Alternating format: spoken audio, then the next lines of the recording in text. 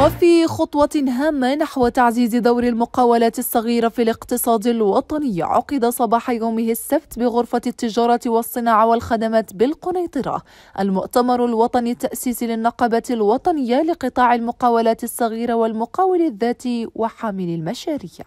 وقد انعقد هذا المؤتمر تحت شعار اقتصاد وطني قوي وتنافسي رهين بتطوير المقاولات الصغيرة وتقوية قدراتها التنافسية عبر التنزيل السليم للبرامج الحكومية الداعمة اليوم هذا يشهد على واحد. واحد الميلاد ديال واحد المؤسسة نقابية اللي كتدافع على هذه الشريحة ديال المقاولات الصغيرة والمقاول الذاتي وهذا عمل اللي تحضرنا ليه لمدة مع واحد العدد مع التنسيق ديال الإخوان ديالنا في, الأقاليم والجهات واليوم راح إن شاء الله كنقولوا راه اليوم غادي نديروا اللبنه الأولى والأساس الأول ديال هذا اللقاء هذا اللي غادي يعرف واحد إن شاء الله لأننا عندنا ليه واحد الخريطة ديال الطريق ديال التعامل في إطار الدفاع على واحد الملف مطلبي قوي سواء بالنسبة للمقاولات الصغيرة أو المقاول الذاتي وكذلك حمل المشاريع. هذه الشريحة بالضبط اللي إحنا كنعتبروها هي أساسية وضرورية في الاقتصاد الوطني المغربي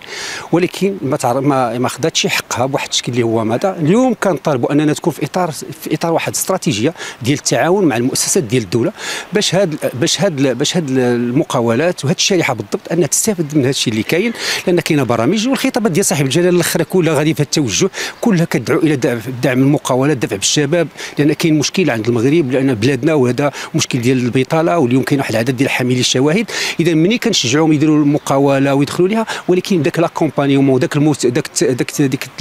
كي كنقولوا المواكبة اللي باش نخرجوا ذوك المقاولات الصغيرة والمقاول الذاتي إلى بر الأمان ما كنلقاوهاش. إذا اليوم حنا في هذا الإطار هذا وهذا علاش مجتمعين اليوم أننا إن شاء الله بغينا نديروا واحد الخريطه الطريق باش نديروا واحد الوساطة اجتماعية مقاولاتيه مع مؤسسات الدولة ونشوفوا كيفاش إن شاء الله نشوفوا شي حلول اللي كتبان أنها مناسبة لهذا الشيء إحنا كان اهتمام ديالنا كبير بالشغيله والهدف ديالنا هو تأهيل المقاولة باش يكونوا الأجراء في واحد الوضعية آه، ديال آه، الحياة الكريمة. وكذلك لما لجات لنا هذه الفئة من المقاولين كنتعاملوا معهم من أجل تأهيل هذا المقاولات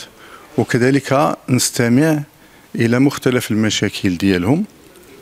واللي يمكن نفتحوا فيها نقاش آه، لا مع الإدارات المسؤولة ولا مع داخل المستثمرين الآخرين كذلك باش يمكن لنا كاملين كمجتمع نأهلوا المقاولات المغربية للمستقبل. في هذه الخطة التنموية اللي كيرعاها صاحب الجلالة خاص حتى الشركات ديالنا تتأهل باش تواكب هذا الانفتاح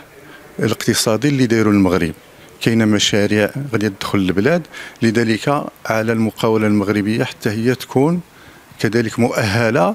لمسايرة هاد هاد هاد هاد الجديد. ما تنساش تشارك في القناة وتفعل الجرس باش يوصلك كل جديد من جريدة العالم 24